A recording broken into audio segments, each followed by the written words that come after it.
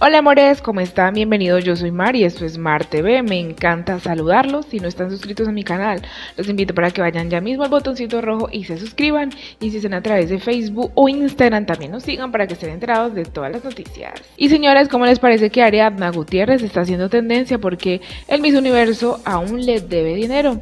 Como recordarán, a Diana Gutiérrez fue la reina colombiana que le entregaron la corona y se la volvieron a quitar en menos de 5 minutos para entregársela a Pía a la niña de Filipinas. Pues tal como Ariana contó en una entrevista reciente en RCN, Miss Universo nunca le pagó lo correspondiente al título de reina.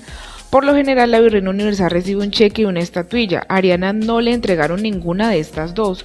Para empeorar las cosas, la cincelejana nunca fue invitada a los eventos oficiales del certamen a los que suele asistir la virreina. De hecho, se enteró que decían que ella había renunciado a su título.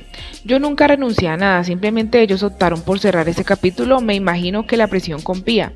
Miss Universo ese año era bastante fuerte, dijo. A pesar de que Ariana dice que no le interesa el monto de enero, sí le llamó la atención que nunca se lo hicieran llegar, pues habría sido lo correcto. Esto sin tener en cuenta el mal rato que le dio mucho rating al concurso ese año. Venga, pero Ariana tiene razón, tras de que le hacen pasar un mal rato y no le pagan, esto es muy injusto. La verdad deberían de devolverle todo su dinero a esos atrevidos.